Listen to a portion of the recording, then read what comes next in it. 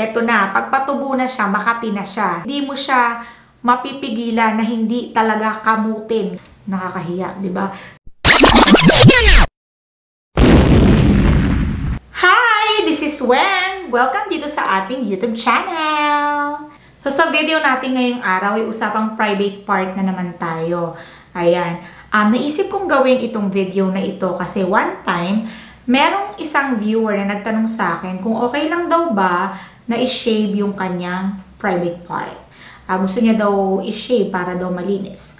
Ngayon, ang sagot ko sa kanya, hindi ko sinasuggest na i-shave mo yan. Okay, kaya ako naman nasabi yon kasi personally, ako sa sarili ko, hindi kasi ako nagiging komportable pag ako ay nag-shave. Ayan, hindi, parang sa akin, sa personal na opinion ko, um, hindi dapat na i-shave siya. So, yun yung sinabi ko sa kanya, wag mong i-shave kasi ito yung mga possible na pwedeng mangyari. Pero hindi ko rin naman sinasabi na never in my entire life akong hindi nag-shave. Kasi merong mga pagkakataon na kailangan mo yun gawin. Uh, especially halimbawa kung summer, so kailangan mo yung linisin. Kasi nga, uh, especially kung magsusuot ka ng bikini, o kaya naman manganganak ka. Katulad ngayon, buntis ako, manganganak ako. So, um, kailangan ko na naman siyang i-shave pagka manganganak ako.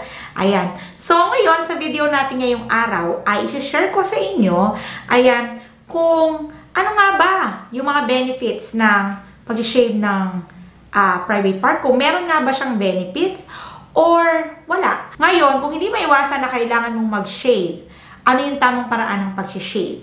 At ano yung mga nagiging uh, epekto o yung mga possible na side effect. May side effect, kala mo gamot eh. Yung possible na maging epekto ng pag-shave. Ay, kung gusto nyong malaman kung ano yung mga i-share ko ngayong araw, keep on watching. So, gaya ng nabanggit ko kanina, um, sinuggest ko dun sa isa kong viewer na wag niyang i-shave. Kasi ako naniniwala ko na hindi ilalagay ng Diyos yan kung wala yung function dyan. So, kaya yan nilagay ng Diyos dyan ay meron niyang ginagampanan. Ngayon, nagbasa-basa ako. So, sabi sa nabasa ko, walang anumang health benefits ang pag-shave. It's a personal choice. Ngayon, kasi yung iba, mas prefer nila na nag-shave sila kasi parang mas malinis. Okay, parang feeling nila mas malinis yung kanilang private part kapag sila ay nag-shave. Kasi sa totoo lang naman, kapag sobrang kapal naman kasi talaga yan, hindi rin kasi talaga maganda. Um, nakakaano rin siya, nakakairita rin siya. Okay, so minsan, medyo makate or minsan nagiging cause ng pamamaho especially kapag ka pinagpapawisan ka.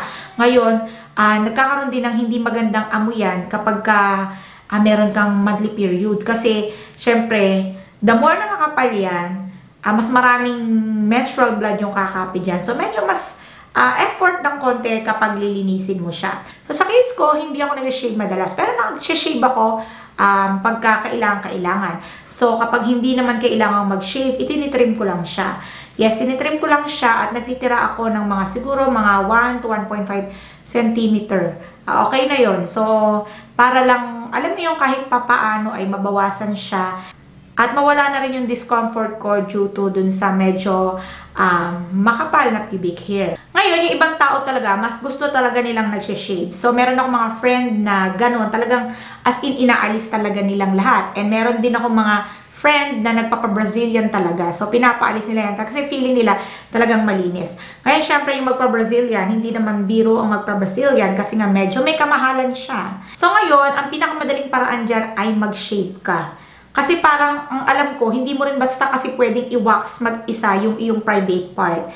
Uh, maski yung sa mga uh, wax na nabibili sa uh, Watsons, hin- uh, sinasuggest na wag siyang gagamitin sa private part. Ayan. So, ngayon, ang pinakamadaling paraan ay mag-shave. Kung hindi mo uh, afford magpa-Brazilian or wala kang time magpa-Brazilian. Okay. So, kung mag-shave ka ng iyong private part, ito yung mga dapat mong sundan. Uh, hindi siya nalalayo sa pag-shave ng balahibo sa kilikili. Ayan. So, ang una mong dapat gawin, dahil hindi mo yan basta makikita, dahil syempre, um, nasa baba yan. So, hindi mo siya makikita lahat ng mata mo. Hindi katulad ng kilikili. Actually, yung kilikili nga, ginagamitan mo ng salamin. So, kapag mag-aahit ka or mag-shave ka ng private part mo, kailangan mo gumamit ng salamin para makita mo maigi yung dapat mong uh, tanggalan. Ayan, para makita mo siya maigi. Kasi pag huhulaan mo lang kung nasan siya, so possible din na masugatan ka. Ayan. Tapos, makatutulong din na, halimbawa, medyo mahaba na siya, itrim mo muna siya. Itrim mo siya hanggang sa haba na kaya mong itrim. As in, yung pinakamaigsi na kaya ng gunting mo, itrim mo siya ng ganun. Kasi para mas madali siyang ahitin. Kasi pagka medyo mahaba siya, mas mahirap siyang ahitin. ba Ang hassle nun. So, kailangan mo nang itrim. Ayan, ngayon kapag na-trim mo na siya, kailangan mong i-prepare yung iyong private part. Okay? Siyempre, parang sa kilikili din yan, hindi mo siya pwedeng i- uh, i-shave ng dry. Much better kung isoak mo siya with warm water. Ano, maligo ka muna sa mga 5 minutes na nakababad yan dyan para lumambot na rin yung balat mo, pati yung um, pati yung pubic hair mo. So, pag medyo malambot na siya, saka mo siya aahitin. Ngayon, mas makakatulong kung gagamit ka ng shaving cream. Okay? Shaving cream para dun sa ating genital area. Meron pang ano nun, meron talagang pang uh, pangbaba. Okay? Or meron yung mas mild na mga uh, shaving cream. Okay? So, makakatulong yan. Ngayon, kung hindi naman available, siguro pwede na rin yung mga cleanser like yung Cetaphil or basta anything na cleanser na medyo mild. Hindi yung medyo, bawal yung matapang ha, yung mga mild lang.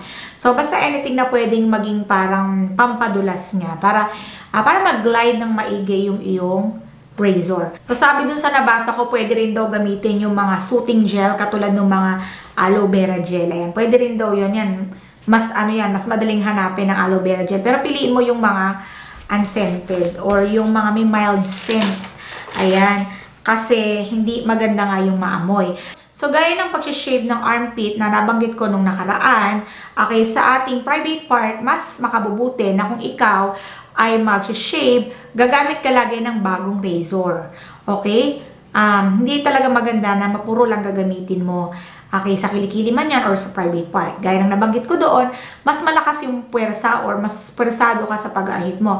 So, alam mo naman, mas puwersado, mas hindi maganda kasi possible na mag-result yun ng, mo, possible na magkaroon ng sugat and possible na magkaroon ng irritation. Ayan.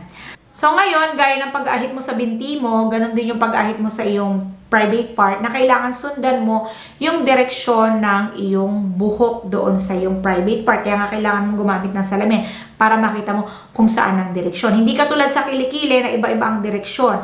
Ayan, so dito tingnan mo kung uh, saan ang direksyon niya at doon mo siya, uh, iayon mo doon yung pag-aahit mo. Okay?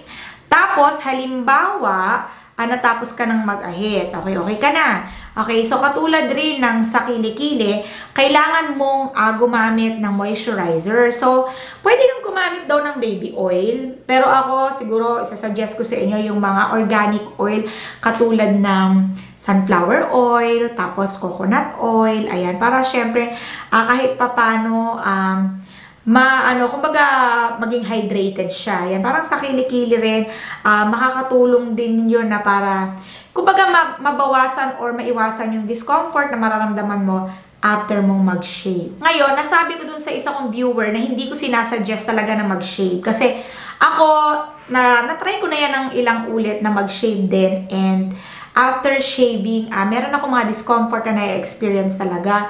Ah, hindi ko lang alam dun sa iba, pero ako personally, talagang na-experience ko yun. Ayan, so, pag nag-shave ka, possible na ma-experience mo itong mga sasabihin ko. So, number one, razor burn, or yung parang magkakaroon ka ng rashes dun sa yung private part. Actually, hindi lang sa private part, pwede mo yung ma ma-experience. Maski sa armpit, ayan. Kaya hindi ko rin prepare na mag-ahit ng armpit. Ayan, tapos, uh, possible din na magkaroon ka ng chemical burn. Okay, yun yung pagka naman gumamit ka naman ng mga, um, yung mga over-the-counter cream remover, yung parang mga, like yung mga, alam mo yung parang pag pinahid mo, tapos kusa nang lalambot yung buhok, tapos pwede mo nang punasan, mawawala na. Ayoko magsabi ng brand. Ngayon, eto, um, na-experience ko to, yung nagkakaroon ng parang, uh, minsan pag hindi ako careful, nagkakaroon ng cuts, tapos minsan parang nagkakaroon siya ng butlig na parang pimples. Ayan, tapos yung iba nagkakaroon ng mga blisters, ganun. Parang kasi talaga, um, possible na mangyari yun once na nag-aahit ka. Ngayon, eto na, pagpatubo na siya, makati na siya. Yun ang pinakaayaw kong part doon. Kasi kapag nangati yan, dyan na magpapatong-patong yung problema. Kasi hindi, hindi mo yan talaga, ano, hindi mo siya mapipigilan na hindi talaga kamutin kapag sobrang kate. Ngayon, kapag sobrang kate siya at nasa public area ka, ay, Diyos ko Lord, nakakahiya, 'di ba? So kaya ako talaga ayoko nang nag-shave kasi yung pinak yung kate, yun ang hindi ko um, matitiis. Ayan. Ngayon, eto, yung pinaka-worst na pwedeng mangyari sa inyo, pwedeng magkaroon ka ng infection in the hair root or yung tinatawag na folliculitis. Ayan, pakisearch nyo na lang ha, folliculitis. Ay, lalagay nyo yung picture ng itsura na may folliculitis dito. Yun yung parang, ah, yung, yung parang infection sa root. Parang ano yun, parang namamaga. Ayan, so, di ba? Hindi naman natin gusto magkaroon ng ganon. Pero hindi naman lahat ng tao nagkakaganon. So, merong mga case lang na nagkakaganon. Mga possible na pwedeng mangyari. Ayan, pero sa case ko, hindi man ako nagkaganon. Pero ako, sa, sa akin, ang pinaka-worst na na-experience ko talaga ay nangangati tapos nagkakaroon ng parang tagyawat. Ah, kaya, parang nakaka-ingrown, ganon. Kaya, ano, kaya talagang pag may nagtanong sa akin, ah, okay lang ba mag-shave? Ang laging sagot ko talaga, no, huwag ka mag-shave. Ayan, masyado na akong judgmental kasi ganun yung na-experience ko. Pero syempre, iba-iba naman tayo ng experience. Syempre, magkakaiba tayo ng katawan. Yung na-experience ko, maaaring hindi mo ma-experience yon Kaya, pwede mo namang itry sa sarili mo and kung sa tingin mo, uh, nag-ihiyang ka naman sa shaving, so why not? Ayan. So, that's all for this video. Sana nagustuhan nyo yung senior ko sa inyo. Kung okay nga lang ba na mag-shave na private part. Ayan. So, sarili nyo pa rin preference yun. Kayo pa rin naman susunod. Katawan nyo yan. Bahala kayo sa buhay nyo. Okay? So, that's all for this video. See you in my next one. Bye!